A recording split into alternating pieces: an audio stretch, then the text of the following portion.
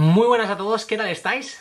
Bienvenidos un día más a este canal y hoy, mira, ya llevábamos una buena racha en la que me estabais viendo vestido de ciclista y hoy ya no me veis vestido de ciclista, voy vestido de calle y tal igual, eh, que aunque sí que he entrenado esta mañana, pues al final, mira, hoy era uno de esos días que me apetecía simplemente disfrutar de la salida en bicicleta sin tener que estar pendiente de qué grababa y qué dejaba de grabar y por eso pues me encuentro en la situación en la que estamos ya ahora casi a las 8 de la tarde, si ya es que no han pasado, y tengo que grabar el vídeo. Entonces, eh, como tengo este compromiso que he adquirido con vosotros de intentar subir, que sé que no lo hago todos los días, un vídeo diario, pues hoy he estado haciendo como un repaso de comentarios de qué es lo, eh, el contenido o las cosas que me vais preguntando y sobre todo qué es lo que más me pedís.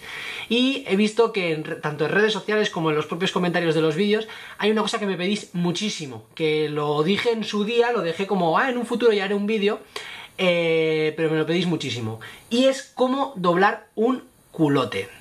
Eh, yo en este vídeo os voy a explicar cómo yo doblo eh, pues el culote corto, o sea, ya veis cómo queda más o menos, que esto al final lo, que hace es que, pues esto lo puedes dejar junto con tu maillot y ya va ahí al directo, y lo que he hecho es seleccionar tres culotes distintos, uno con una badana un poco más fina, otro que casi no tiene badana, y otro con una badana algo más gruesa para que veáis cómo queda y sobre todo para que veáis paso a paso cuál es el proceso de, doblado. Vamos a empezar ya con el vídeo. Si os parece bien, mira, yo tengo aquí este culote, este es eh, un culote de, de Cheondo, que es el que utilicé para hacer el Ironman de Lanzarote. Por eso tiene aquí lo del Club La Santa, Sprinter, que fue patrocinador y todo eso. Pero bueno, es un culote de Cheondo bastante sencillito, pero con una badana no muy, no muy gruesa. O sea, ya veis que la badana esta no, no, no es muy gruesa. Entonces, ¿Cómo doblamos este culote? Yo lo que suelo hacer siempre antes de doblar el culote es colgarlo, estos dos, los, tirantes los cuelgo así. Así. Lo repetiré con todos los culotes para que estéis al tanto, ¿eh? Entonces, eh, ya veis que el culote, la badana, si tiene forma, lo que tenéis que hacer es coger la badana desde el medio y doblarla. Y lo mismo delante, más o menos cogéis y pum, la dobláis desde el medio. Y aquí lo que tenéis que hacer es un pliego desde lo alto de la badana para dejar caer el, el pliegue y una vez ya tenéis esto así, pues lo que tenéis que hacer es recoger, a ver si lo puedo hacer así, lo que tenéis que hacer es recoger estos tirantes para adentro y estas mangas, o sea, aquí tengo los tirantes, lo estáis viendo, ¿no? Entonces, estas patas de aquí, ahora coges y lo hacemos así.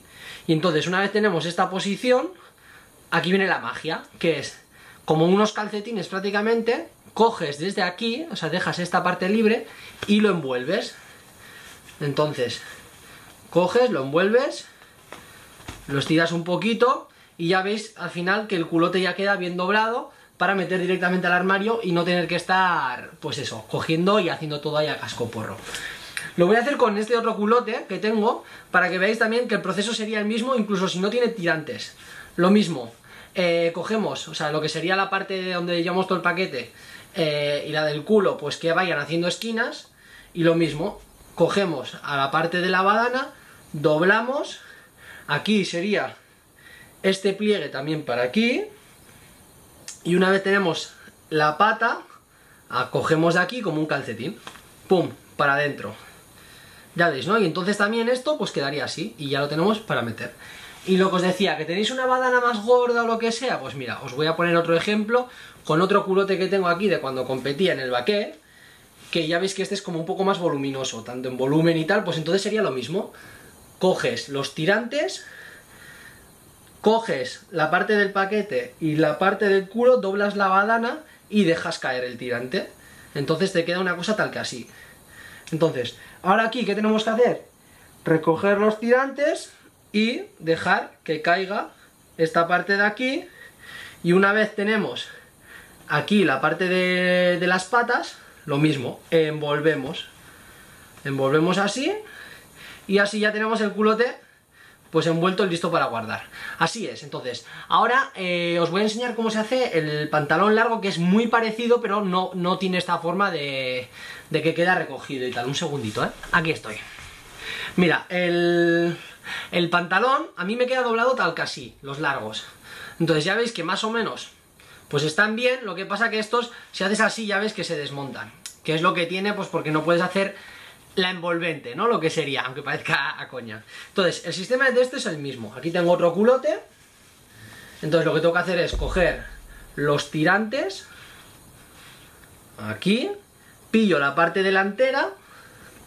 Pillo la parte trasera. La tienes que doblar de manera que quede un poco chafada. Y dejas caer los tirantes.